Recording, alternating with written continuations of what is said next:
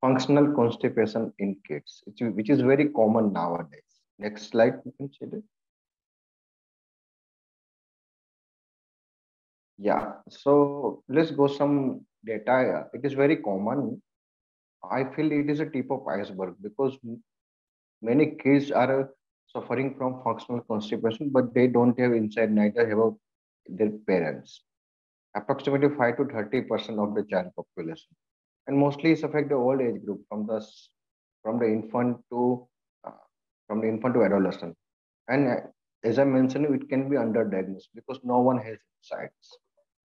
And uh, sometimes they come uh, as a referral like on and off abdominal pain or they have some behavior problem like my kid is not eating, my kid is throwing tantrum, he is very food fussy, he vomits out frequently, or uh, he has on off tummy pain, or he's uh, finding some reason for not go to school, so and so, or so and so is uh, avoiding the toilet. Uh, so it is a very complicated thing. It's not that much serious that a patient will come to emergency at 12 at 2 a.m but it's not that much. Uh, uh, uh, uh, but still, it is a problem. And the thing is that timely identify and avoid the complication. So constipation doesn't mean if child is not passing the stool for two to three days, we call it constipation. Sometimes constipation still is there is if child is passing stool with difficulty, if he is a paining while they're passing the stool, straining while they're passing the stool, stool, getting some fissures around the perineal area, or uh, he's not evacuating empty uh, uh, proper bowel.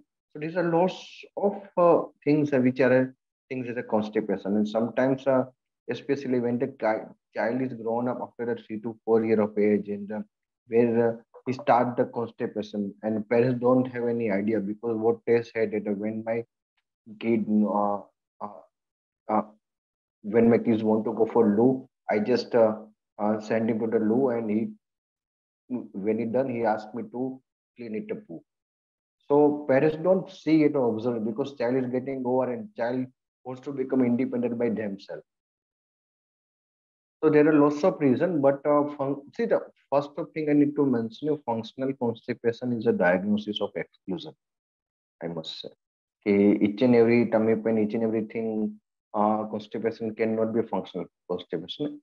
Before it labeling it functional constipation, we need to make sure that we are or we should all excluding other uh, other some dangerous conditions. Mostly functional constipation start at the start at the three to four point of life. First thing, uh, it it can start after the at the time of weaning period when the child is going to weaning from the breast milk to food, weaning food. So these are the time that the child may get abnormal bowel. Second thing, functional consequences start at a time of toilet training. See, the toilet training is very distressing for the child. And most of uh, adult home are uh, fitted with the adult side commode. And um, that uh, adult side commode may child find it difficult to see see it or feel scary or sometimes there are lots of toilet accident within the family and parents gets uh, angry on the child exploding so they try to hold the potty when it comes because sometimes subconsciously they feel that i'm i'm passing the potty or i'm uh, uh, urinating. That's why my mom is scrolling me. So at that time at that time of toilet training it is very possible that a functional constipation can develop second third part is at the starting of the school. When the child leaves the home and go to the school, the, they initially they find it uh, school very unfamiliar place, and uh, uh, he they hesitate to go to the washroom because some some peer pressure or some fear of unknown thing. And third is a fourth is the most common after the viral illness. Any viral illness can lead to the functional constipation post viral recovery. So these are the four phases where we generally uh, find it a, a starting point of the functional constipation it is a general, it is not a rule, but there are other factors also, but these are the more common. Uh, so as I mentioned in you, okay, next slide.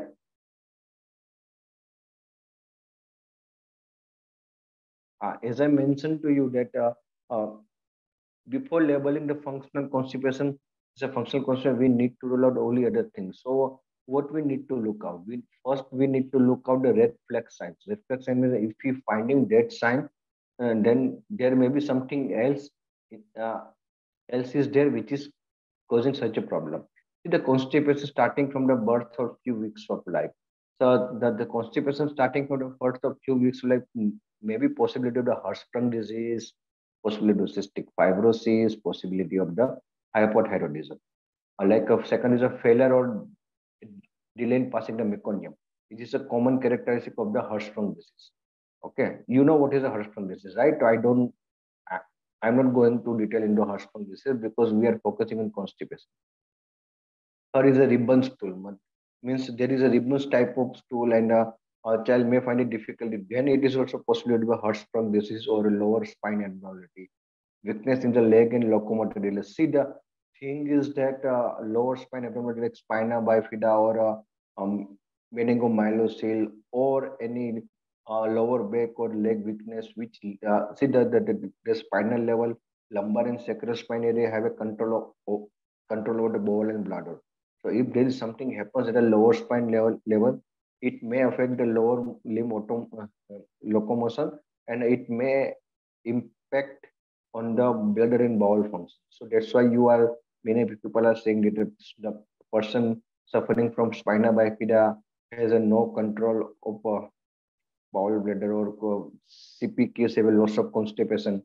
Okay, so these are the pathology. Third thing, the abdominal distension vomiting, sometimes acute intestinal obstruction or some intra-abdominal pathology uh, like intussusception or we say the uh, volvulus or some sort of uh, any pathology may lead to abdominal distension and vomiting and followed by the uh, kid is not passing through. These are some danger signs that we need to take emergency action. Like abdominal appearance of. See the anorectal malformation. Anorectal malformation is a very common cause. Um, not, I'm sorry, not very uncommon, but uh, it can present as a constipation because sometimes uh, in the infancy where the uh, anorectal area is very small to doctor or doctor or, or any pediatrician may not be able to find it, but it can be possible. So in that case, if you feel that uh, that uh, abnormal appears in the anus around, like the sacral dimple or something, uh, a scar mark or any fistula, we need to do some imaging uh, study with dye and uh, need to find out what kind of malformation. Yeah, see the abnormal examination spine, as I mentioned earlier, and abnormal neuromuscular signs of See, again, if any lower motor neuron this is present on the lower limb or upper motor neuron. So the any problem with the neuromuscular system can lead to the constipation, right? So these are some red flag signs we need to roll out before leveling into the functional constipation.